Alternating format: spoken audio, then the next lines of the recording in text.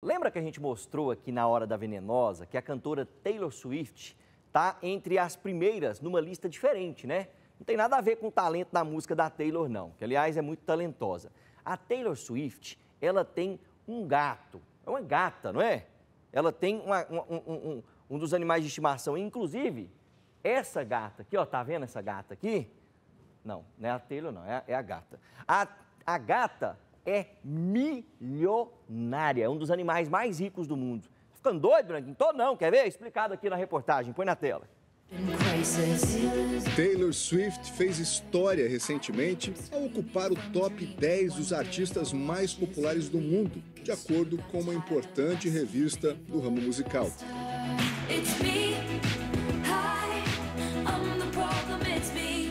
Mas dessa vez o destaque não é da cantora, não mas da gatinha dela. Olivia Benson recebeu esse nome em homenagem a uma personagem de um famoso seriado norte-americano. Tudo bem? Tudo bem? Olivia é da raça Scottish Fold e está no top 3 dos animais mais ricos do planeta.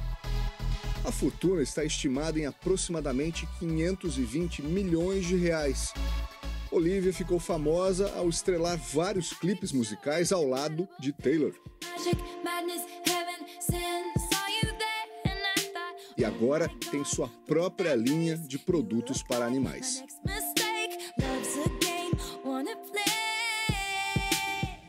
Mas não é só a gata da Taylor que se destaca nesse ranking, não. Os cachorros da apresentadora Oprah Winfrey aparecem em quarto lugar com patrimônio equivalente a 163 milhões de reais. E aí eu pergunto para você, quem será que faturou as medalhas de ouro e de prata dessa lista? Eles não são pets de celebridades, mas são mais ricos que muita gente por aí. A gata Nala, que é norte-americana e uma famosa influencer digital do mundo animal, está em segundo lugar. A fortuna está avaliada em cerca de 545 milhões de reais.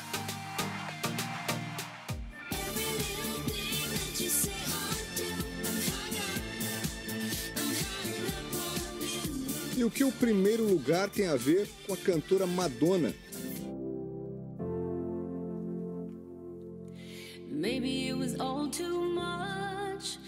Não, ela não é a tutora do bichinho mais rico do planeta, mas a mansão da estrela em Miami foi vendida para ele. O pastor alemão Gunther VI lidera disparado o ranking.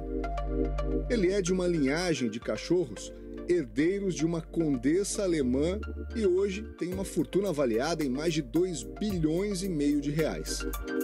Hoje, o cão vive aos cuidados de uma corporação que administra seu patrimônio e desfruta do lar que já pertenceu à rainha do pop.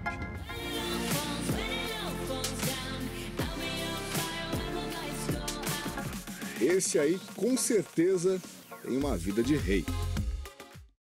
É, rapaz, tá vendo? Tem até gato milionário. Loucura, hein?